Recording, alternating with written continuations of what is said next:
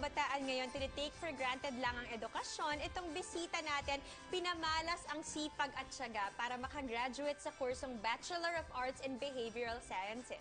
Making his way here on Mars is the first Aita to graduate from the University of the Philippines, Manila. Let's welcome our man of the hour, Norman King. Good evening, Pars! Good evening. Good evening.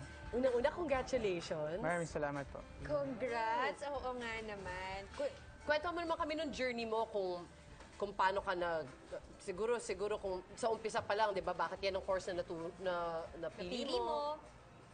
Well, actually, hindi ko siya pinili. Oh, okay. Wala akong idea about the course. Uh, it was the first two years nung may dilemma ako kung saan ko ba gagamitin tong course na to sa community. But then again, coming third year, I realized na malaki pala yung use niya at uh, magagamit ko siya sa community namin sa PORAC since it's more of a research-based at saka community-based yung aking course. Nice. So, through in through the course of history kasi, most of the time, uh, wala akong makitang readings about the AITA. When I was doing my thesis, it was having hard time.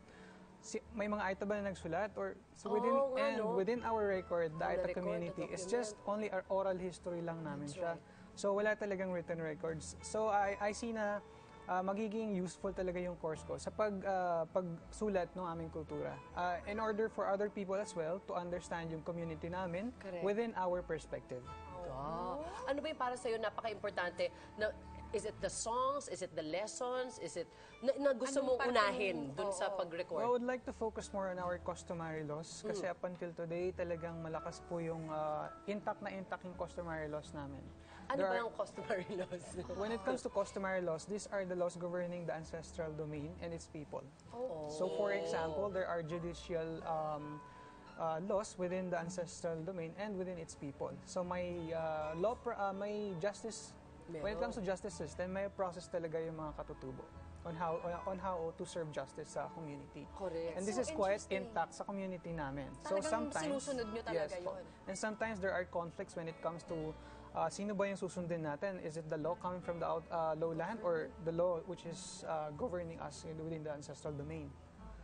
So there are dilemmas when it comes to those. That's why it's quite uh, good to write that uh, book for within yung laws namin. Nang sa ganon, if there are other people who would like to understand how we do it within our community, mas mauunawaan nila within our perspective, not just the perspective of the outside.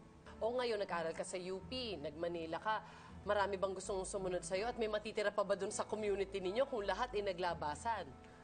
Well, um, not necessarily lalabas lahat. Now the thing is, uh, as for myself, I felt that during those years na wala ako sa community ko, I felt that yung namimiss ko kung ano ako. Kasi malaking bahagi ng pagkatao ko is nakadikit talaga sa community. Oo. And there was a time na kapag na, uh, natuturete na ako sa city life, I go back to the community, naliligo ako sa ilog, Oh, love it. naghahunt ako, nag-hiking ako, I, I sleep in the mountains, stargazing all the way.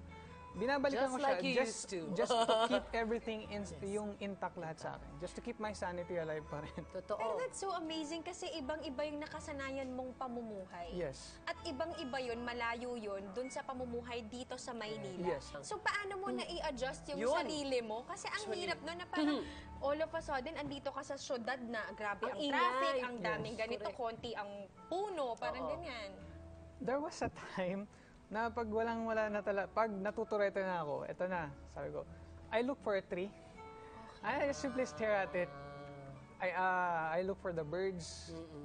Yun lang, titingnan ko lang siya, kahit kahit gaano siya katagal, just to keep yung sanity ko na bumalik uli sa akin. Kasi Yes. it's really Sa suffocating. core mo na talaga yung being one with nature, di ba Yes. ganun Iba eh? kasi yung konsepto namin ng space. When our concept of space is iikot mo yung mata mo, all 360, yun yung space namin. Not Hmm. hindi katulad dito na pagharap mo sa ano mo, pader, Pader. pader, pader. Sa langit na lang yung medyo mala- malawak yung space sa amin, hindi. Kaya minsan kapag nilagay mo kami sa closed area, we really feel na nasa-suffocate kami. Oo, oo. What's next for you? Uh, within the next a year or two, maybe, um, I would like to take up law. Because uh, we, uh, our community definitely needed a lawyer. Yes. Uh, since uh, malapit kami sa Clark and sooner or later ma yung development uh, lalaganap na rin sa amin. And to, to see to it na within, na ma-secure namin yung rights namin within the next generation, especially um, ano eh, hindi naman every time na yung mga tao gustong tumulong, is andyan sila palagi.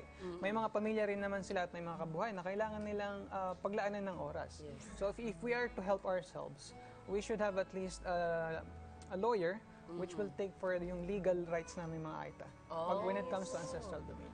Will you be the first lawyer? Oh no, my the, the first lawyer was actually uh, my aunt. It's uh, Waida Cosme from Zambales. It's the first cousin of my mom. So kayo, meron ka, ikaw taga Porac, tapos Yes. meron sa Zambales. Yes. So maraming maraming areas Chapters, kayo. kumbaga. Yes. Oh. We are all over Pinatubo. Are all around it. Yes, all Oo. around Pinatubo. Mga kapat- may mga kapatid ka ba? Na-inspire ba sila sa'yo? Ah, yung younger sisters ko. Oo. Gusto rin makapag-aral. Yes. Dito rin. UP din. Um, sana. Yes. Ah, nice. one. Baka may mga gusto ka pasalamatan, mga taong sumuporta sa'yo, tumulong sa'yo. Ayun, uh, first of all, I would like first to thank the Lord. Um, the time na pumasok ako ng UP Manila, I consider everything as a blessing coming from Him. Uh, without His guidance and support, uh, maybe wala ako sa university. So that's why, uh, to God be the glory, the greatest glory of all. And to the people who helped me, I would like to thank uh, Professor Cynthia Nerizayas. Siya po yung tumulong sa akin na makapasok sa UP. And kay sa kanyang partner, Ma'am Viveca Hernandez. Um, kay Ma'am Lendra Grarios sa Department of Biology sa UP Manila. Sa Dean ng CAS, Arts and Sciences, si Dean Leonardo Estacio. Tapos sa Chairperson ng Behavioral Sciences Program, si Ma'am uh, Professor Maria Teresa Di Guzman, to which parang nanay-nanayan ko sa school. Nice. Uh, who pushes me a lot uh, sa lahat ng activities ng department. Tapos sa mga professors pa na si uh, Professor Andrea Martinez, ma'am, thank you for for keeping my sanity. so lagi nag-advise sa akin pag natuturete na ako sa psych classes ko. Thank you so much, ma'am. And uh, sa aking mga professors na si uh, Professor Jocelyn Del Mundo, uh, uh, Sir Enrico Baula, Professor Reynaldo, Reynaldo Imperial, uh, Lofred Hernandez, Ate Luz, thank you, yung Secretary ng Department of Behavioral Sciences.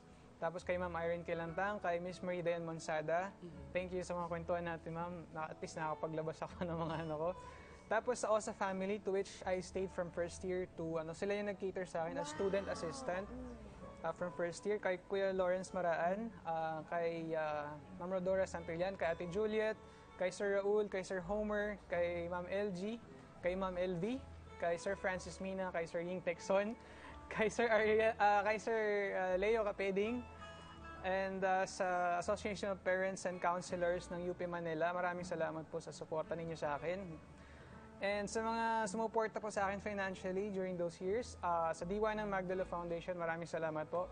At ito na po ngayon yung ah, resulta ng inyong pagsuporta. Oh. And sa mga fraternity brads ko sa UP Manila, UP Alpha Sigma Fraternity Yun. Brads, tagumpay natin tong lahat, alay sa sambayanan. Tapos na naging inspiration ko.